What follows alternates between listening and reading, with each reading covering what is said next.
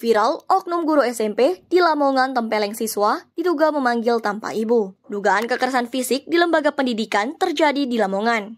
Dan kali ini, justru dilakukan seorang oknum guru pada seorang anak didiknya di dalam kelas selasa 24 September 2024. Kejadian itu menjadi viral di media sosial karena pemukulan itu terekam melalui kamera ponsel.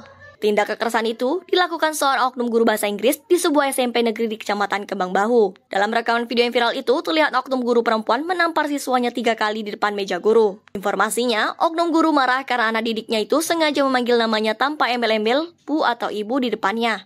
Tidak dijelaskan apakah ucapan siswa itu spontan atau sekedar candaan yang menjadi kebiasaan di lingkungan sekolah.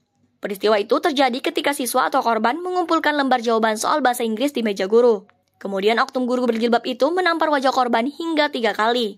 Aksi tersebut terekam dan beredar di media sosial. Dengan cepat, Dinas Pendidikan Lamongan merespon masalah itu.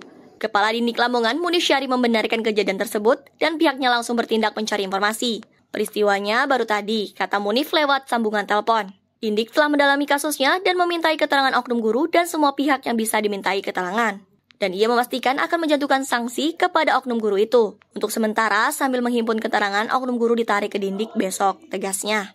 Adapun juga alasannya, lanjut Munif, guru tidak dibenarkan melakukan tindakan kekerasan kepada siswa. Apa pun juga alasannya, lanjut Munif, guru tidak dibenarkan melakukan tindakan kekerasan kepada siswa. Seharusnya guru mampu menciptakan sekolah sebagai tempat yang nyaman, aman untuk belajar. Dan itu pun sering kali saya sampaikan dalam setiap pertemuan. Saya berharap insiden ini tidak terulang lagi dan menjadi pembelajaran semua pihak, ujar Munif.